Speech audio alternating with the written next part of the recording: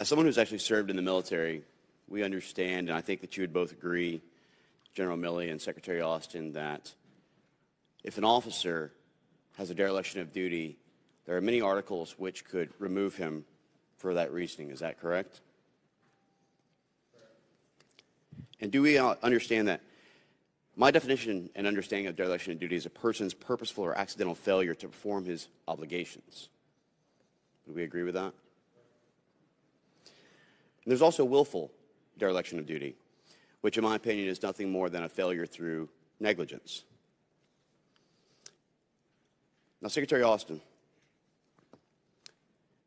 we have seen where we have failed to secure a status of forces agreement during Iraq withdrawal, which has now allowed ISIS to retake key locations in Baghdad.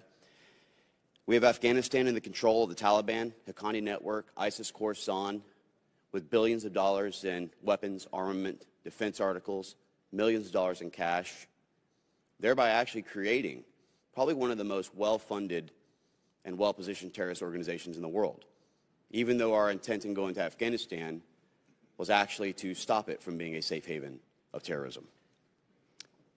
We have Libya, which is controlled by a UN-backed government that faces challenges from militia groups who threaten the stability across the entire region. And we have Syria, which is fractured between the Assad regime, the Russian military, militia groups, and ISIS, plus the United States continuing to be the recipient of missile and rocket attacks that's resulted recently in the loss of American lives. And as my colleague Representative Johnson had pointed out, also not abiding by law. Many of these things are very personal to me. One is a United States Army combat veteran myself, but one, in understanding that leadership is to lead by example. And in my opinion, that example has not been very strong. That is why we have 8,400 people who is purged as a result of the vaccine, which I find to be unconstitutional, and support them being reinstated with full pay, back benefits, and their ability to serve their country, not the political agenda. But Afghanistan is near and dear to my heart because before I ran for, when I was running for Congress, actually, and before I was an elected member, I helped to conduct one of the very first successful overland rescues of Americans who were left behind in this botched withdrawal. And we also know that there was officers who were deployed and military members who were deployed, like Sergeant Vargas Andrews, who could have actually have engaged and taken out the suicide bomber in Afghanistan at the Abbey Gate, but had no rules of no escalation of force and no rules of engagement to be able to do so. The idea of being deployed and going downrange without a clear escalation of force and rules of engagement, even after receiving a bolo and identifying the target, is a failure in leadership.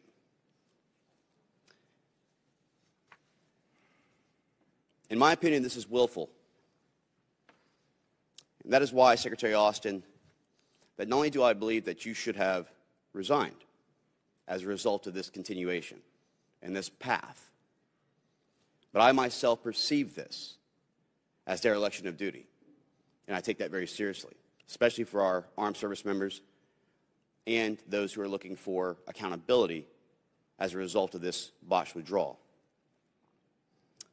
Based on my perception and having conducted these operations and seeing how political optics was placed above the true military strategy where we should have held Bagram Air Base, held the detention center, had a conducted withdrawal as the way it was supposed to, not shut down and entrap Americans by taking over HKI, the commercial airspace, and abandoning thousands of Americans, not to mention our SIV and the friends of those who have fought beside us proudly and honorably, who are being methodically and systematically murdered now, who trusted the American people for 20 plus years, and the increase in suicide rates of American soldiers who spiked over 25 after this failed withdrawal as a result of them feeling as if they had failed. That is why Secretary Austin, and based on further hearings and investigations, I've already drafted my articles of impeachment for the dereliction of duty.